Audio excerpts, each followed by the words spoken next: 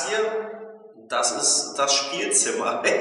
das offizielle neue Spielzimmer, das wir in dreieinhalb Wochen beziehen werden. Das bedeutet im Hintergrund werdet ihr in dreieinhalb Wochen oder beziehungsweise vier Wochen ähm, dann beigespielt auf jeden Fall das Spieleregal im Hintergrund sehen. Ich hoffe, dass der Schall dann ein bisschen weniger ist, weil ihr merkt, äh, der Schall ist extrem heftig. Ich habe ich muss es euch auch sagen, ey, richtig krass Rückenschmerzen, den ganzen Tag hier stehen und ackern und malern und Malerflies aufkleben und so. Pff, ey, es ist die Hölle. Es ist wirklich richtig heftig. Es macht natürlich auch Spaß, aber da wir jetzt ein bisschen Zeitdruck haben, weil der Boden, ja, der Boden muss soweit rein, also eigentlich nächste Woche, bedeutet, wir müssen halt in der Woche richtig durchziehen, damit wir dann äh, nächste Woche, ja, den Bodentypen hier haben kann, weil, ganz einfach, der hat nämlich dann drei Wochen Urlaub. Und entweder macht er das dann jetzt fertig oder wir müssen drei Wochen warten und wollen wir warten? Äh, auf gar keinen Fall. Also ganz ehrlich, ich bin jetzt froh, wenn wir dann hier einziehen können endlich. Ich freue mich auch darauf. Deswegen die erste, erste Aufnahme für euch direkt aus, ja, aus dem Gespieltzimmer dann. Oder das Spielzimmer. Ich habe hier die nervt mich, also tut mir leid, wenn, wenn ihr jetzt merkt und denkt, was macht er da? Ich habe hier so einen tollen Kleber an den Fingern, das nervt, das pult man immer so ab. Ich weiß nicht, ob ihr das kennt. Irgendwie cool und irgendwie nervt es trotzdem. Egal, ich versuche es mir abzugewöhnen, gerade jetzt für gespielt. Und ich freue mich jetzt mit euch zusammen eine Runde gespielt zu machen, weil ich hatte ja letzte Woche gesagt, ey, wir werden so viel gespielt, Videos oder beziehungsweise Spiele im Video haben, damit ihr richtig, richtig Spaß habt. Tja, haben wir es geschafft. Auf gar keinen Fall. Es tut mir auch total leid, aber irgendwie, wir haben ganz gut gestartet mit Montag. Und am Montag haben wir ein Spiel gespielt, wo ich auch richtig stolz bin, dass wir es endlich gespielt haben, weil es ist ein Spiel von der Berlin Brettspielcon und zwar das letzte vom letzten Jahr, das letzte Spiel, was wir dort mitgenommen haben. Und äh, ja, dann geht's ab mit gespielt.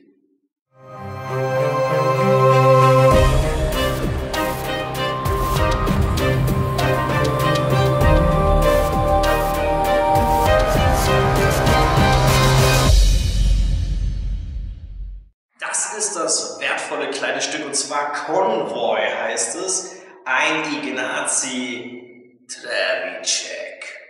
Tja, und ein Ignazi Trevicek hat natürlich eine Bewandtnis. Das sind eigentlich immer ganz coole Spiele. Hier muss ich sagen, es ist ein Zwei-Personen-Spiel, steht drauf 30 bis 40 Minuten. Ich weiß nicht, wer so spielt, weil wir haben, glaube ich, annähernd anderthalb Stunden bis zwei Stunden gespielt. Ähm, denn wir zwei Personen kämpfen gegeneinander, wie in vielen Zwei-Personen-Spielen. Nicht in allen, aber in vielen ist es natürlich so, dass man halt dort gegeneinander antritt. Und was müssen wir nun machen? Wir haben eine Stadt. Und wir müssen versuchen, als Menschen diese Stadt zu beschützen. Und äh, es gibt auch diesen sogenannten die Mol des Moloch, was äh, Androiden, Roboter und so weiter sind. Und die greifen diese Städte an.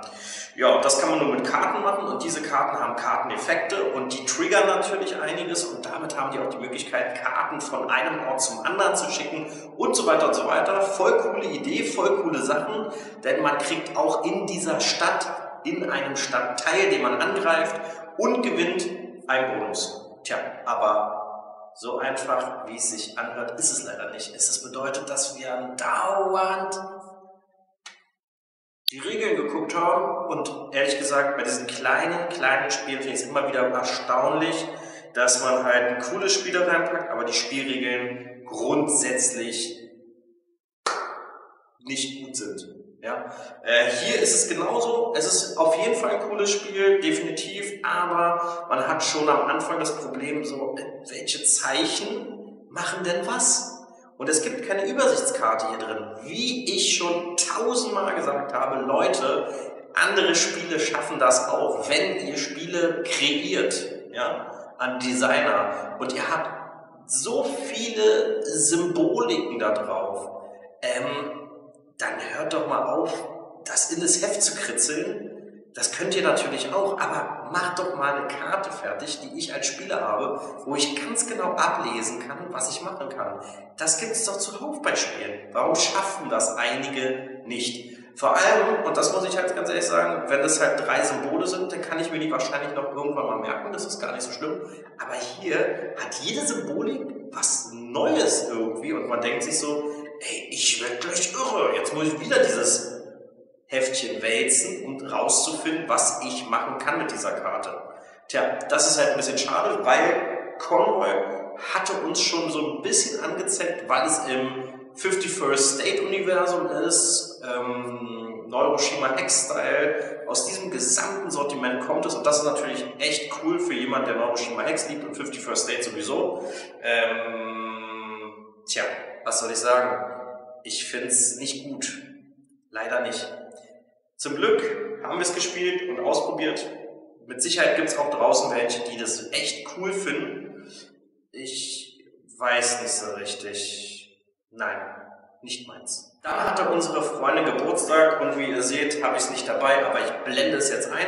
Und das ist ein Spiel, was relativ neu ist auf jeden Fall und was ich aber sehr cool finde, weil wir haben es dann auch einfach in den Briefkasten geschmissen und haben dann gesagt, da unten im Briefkasten ist was, was wir nicht rauskriegen. Tja, nun ist aber nicht sie gegangen, sondern ihr Mann und ihr Sohn. Egal, wir haben es dann an dem Geburtstagabend dann auch gespielt und ich muss ganz ehrlich sagen, mir hat es gut gefallen. Es ist natürlich wieder so ein typisches Escape Room Style. Man hat viele äh, Dokumente, man hat viel zu lesen, man hat viel herauszufinden, wer hat was mit wem zu tun. Aber das Coole daran ist auf jeden Fall, es steht auch extra drauf, benutzt das Handy. Tja, und was sollte man dann tun? Genau das Handy mal benutzen. Man muss auch ein bisschen um die Ecke denken und manchmal hat man, hat irgendjemand am Tisch dann einen richtig coolen Einfall, eine coole Idee. Dann macht man das und staunt und sagt, wow, das ist cool. Also das kann ich euch wirklich empfehlen, weil es hat echt viel Spaß gemacht. Das ist eine, ein wirklich schöner Briefumschlag, der wirklich groß ist. Ihr habt äh, ganz viel Material. Wenn ihr also gerne lesen wollt und Detektivarbeit machen wollt, das ist ganz wichtig, dann tut euch da keinen Zwang an, weil ich finde es einfach echt cool. Also da hat sich jemand wieder mal so ein, so ein richtig cooles Spiel einfallen lassen. Und was ich auch sagen muss, es ist halt einsteigerfreundlich. Ja, es ist, wir haben es auch geschafft. Wir haben es komplett gelöst zu 100 Prozent. Und ähm, das war dann aber auch relativ klar, weil wir haben halt das Problem, dass wir mittelmäßige Spiele einfach nicht schaffen. Da sind wir einfach zu doof für, haben da kein Interesse oder ich zumindest nicht. Aber das war ehrlich gesagt ganz cool. Ja, was war dann? Ähm, ich muss jetzt ein bisschen überlegen, weil ich jetzt ehrlich gesagt gar nicht mehr so richtig weiß, was wir noch gespielt haben. Doch, jetzt weiß ich wieder. Am Samstag, wir hatten ja wirklich viel gemalt und so weiter, und dann kam der Samstag und da haben wir ein richtig cooles Spiel ausgepackt. Hexen 1733, unser aktuelles Rollenspiel. Wir spielen natürlich noch Mutantia 0, G-Labor Alpha, aber wir haben gerade eine neue Runde begonnen mit neuen äh, Leuten auch. Und da haben wir gesagt, okay, Hexen 1733 hört sich einfach als Setting cool an. Und da möchten wir mal einsteigen. Wir spielen aktuell in Hanau, in einer Stadt in Deutschland. Und ähm, ja, das ist ziemlich cool und abgefahren, muss ich ganz ehrlich sagen. Es hat wahnsinnig viel Spaß gemacht, den zweiten Teil jetzt rauszuhauen. Also von der Geschichte, also wieder neu zu planen und so weiter. Das dauert dann bei mir manchmal bis nachts um 12, 1, bis ich Charaktere selber gemalt habe, denen eine Geschichte verpasst habe, also NSCs, die auftauchen können und ja, noch ein paar Verzweigungen und Extrakarten und so weiter und so weiter. Auf jeden Fall ähm, ist es bei mir meistens so, wir wissen schon, wann wir wieder spielen und ja, jetzt muss ich das Haus fertig machen und komme wieder nicht dazu. Und ich wette, eine Woche davor wird ja wieder gesagt, denk dran, am Samstag spielen wir und ich sage so, äh, was? Eine, äh, ich habe gar keine Zeit. Und dann muss ich mich wieder ransetzen und die Geschichte weiterstricken.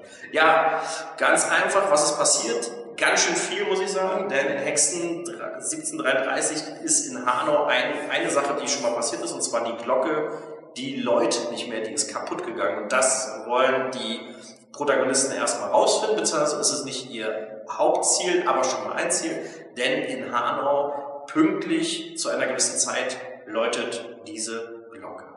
Ja, Sie ist aber kaputt. Also, was passiert da? Wenn diese Glocke, diese Glocke läutet, dann passiert immer irgendetwas. Das bedeutet, an einem Tag haben wir äh, einen Überfall gehabt, direkt am Tor von Hanau. Die haben eine intakte Steinbrücke gebaut, die eigentlich relativ cool ist. Und genau da war der Angriff. Und da kam ein Teil unserer Protagonisten vor. Beim zweiten Teil hatte, oder der zweite Gruppe hatte das nicht, sondern haben andere Sachen bekommen. Die darf ich jetzt nicht verraten, ja, weil sonst würde ich für die Leute, die das äh, Spiel mitspielen, spoilern. Ähm, zusätzlich haben sie aber auch jeder so ihre eigenen Aufträge bekommen, sage ich mal. Trotzdem hat sich die Gruppe, also sechs Mann, zusammengefunden im Laufe des Spiels.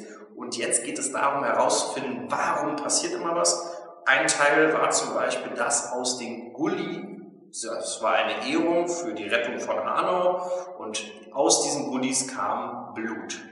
Knöcheltief, rausgesprudelt. Und das kann nicht mit rechten Dingen Tja, noch viel, viel mehr natürlich.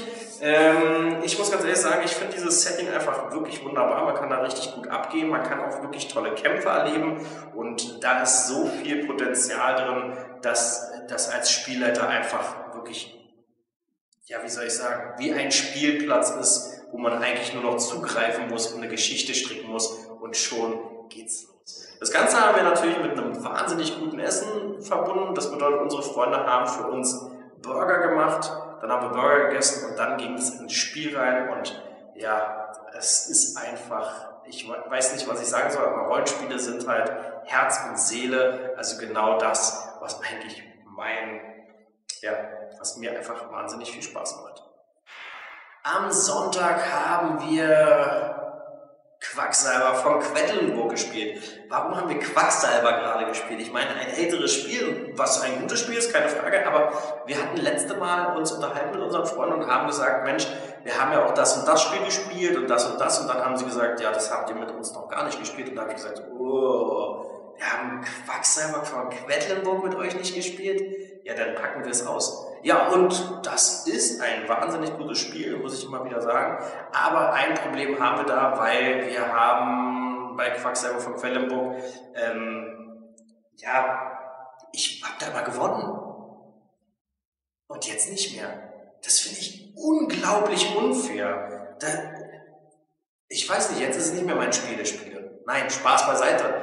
Was müssen wir tun? Ganz einfach. Wir haben die Aufgabe Quacksalber von Quedlinburg, versuchen aus unserem Beutel kleine Chips rauszunehmen, die wir in unseren Kessel legen, immer abhängig davon, welche Zahl da drauf steht. Aber diese Plättchen haben auch Funktionen und das finde ich halt richtig gelungen. Das macht richtig Bock, weil man hat sozusagen einen Deckbilder als Beutel, ja, in dem man Chips reinpackt. Dann schüttelt man dann holt man die entsprechenden Chips raus und man darf nicht mehr als sieben Knallerbsen ausliegen haben, weil sonst explodiert der Kessel.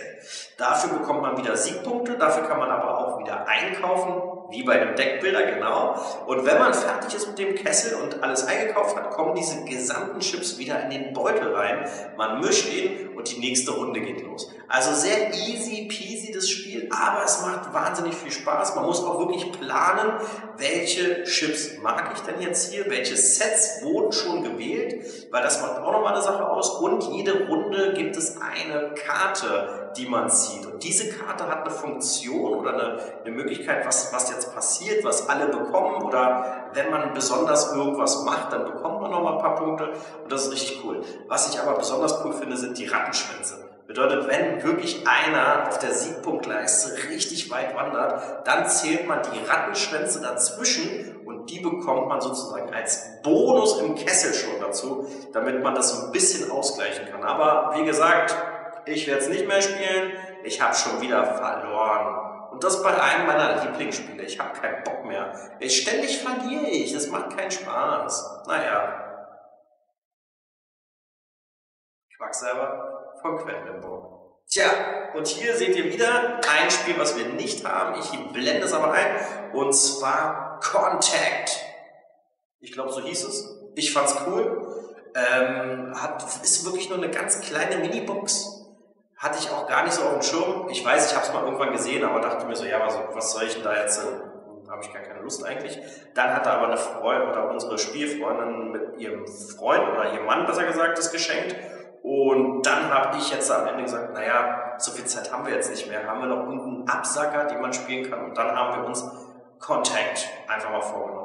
Und äh, es ist echt cool. Man hat eine Rakete in der Mitte, man hat ein paar Planeten, man zieht Karten und jetzt hat man die Möglichkeit, nach dem Schwierigkeitslevel die entsprechenden Karten halt zu nehmen. Also ob man jetzt zwei Karten nimmt oder sechs Karten. Und die signalisieren im Grunde diese Planeten, wo man halt hinfliegen könnte. Aber derjenige, der die Quelle ist, der darf nichts sagen. Der darf nur mit der Hand sozusagen auf den Tisch. Und wenn er losfliegt, macht er die Hand hoch. Und wenn er ankommt,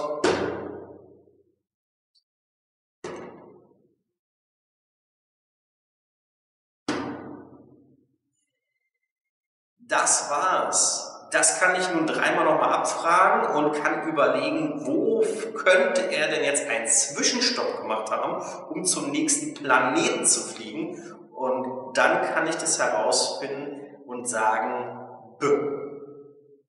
Und wenn es stimmt, dann bekommen wir die Siegpunkte als gemeinsames Ziel, denn wir sollen mehr oder näher an die 42 rankommen, an die Gesamtzahl, die man schaffen könnte. Tja, und dann ist das Spiel eigentlich schon wieder fast vorbei, beziehungsweise nein, denn wir müssen ja die Karten abarbeiten und die Quelle wird immer ein anderer Spieler. Wenn wir es nicht schaffen, kommt die Karte raus und wir haben natürlich die Siegpunkte nicht. Das bedeutet, wir kriegen kein Minus, aber wir haben die Siegpunkte nicht. Und das ist schon echt ein sehr feiner Absacker. Also mir hat es wirklich gut gefallen. Hab ich, hätte ich jetzt auch so nicht gedacht, dass er so cool ist. Aber toll. Kann man mal spielen und dann ist auch gut. So, das, ja, das war mal das neue Gespielt-Format. Ich hoffe, es gefällt euch. Natürlich wird es nächste Woche nicht hier sein, weil der Fußboden kommt rein. Ich weiß dann, nein, ich müsste ja dann auch alles wieder rüber schaffen. Aber ihr habt schon gesehen, ihr könnt euch also auch genauso darüber freuen wie wir, wenn wir endlich wieder hier einziehen. Das wird am 1.8. der Umzug sein und äh, 1.8. ja, genau, 1.8. Dann machen wir schön äh, Party und dann gibt es ein gespielt. Ganz klar. Und zwar hier. Leider habe ich noch keinen richtigen Sitz. Hm. Also Sessel ist erstmal nicht. Mal gucken. Spieltisch äh, ist auch noch nicht. Kommt aber auch. Da werdet ihr auf jeden Fall ein bisschen was sehen, wie ich meinen Brettspieltisch baue, weil wir haben ja echt alles mögliche geplant schon. Und da könnt ihr euch auf jeden Fall drauf freuen. Da werde ich euch mitnehmen auf jeden Fall auf die Reise und dann werden wir mal gucken, was wir für einen coolen Brettspieltisch machen und wie wir dann endlich darauf spielen können. So, das war's. Wenn euch das Video gefallen hat, auch mit Hall und Echo, ähm, dann ein Daumen hoch, ein Abo wäre cool. Schreibt was bitte unter die Kommentare, wenn ihr irgendwas wissen wollt, irgendwelche Informationen, gerade über Hexen 1733, wie wir spielen, habe ich extra Fotos reingemacht, wurde ich gefragt. Bitteschön, äh, gerne, wenn ihr also Fragen habt, Wünsche, Äußerungen, dann tut euch das auf jeden Fall an, schreibt einen kleinen Kommentar rein und ich versuche, die Wünsche zu erfüllen. So, bis dahin macht's gut. Ich muss ganz schnell das Video drehen, weil ich muss morgen wieder weiter am Haus arbeiten und dann sehen wir uns Freitag. Ich habe es angedroht, ich werde es auf jeden Fall machen. Ich geb, äh, es gibt einen kleinen Content von mir am Freitag, da könnt ihr euch drauf freuen, ab 19 Uhr. Und dann sehen wir uns spätestens am Sonntag. Also macht's gut, bleibt gesund, ähm, genießt die Woche. Bis dahin, euer Tigo.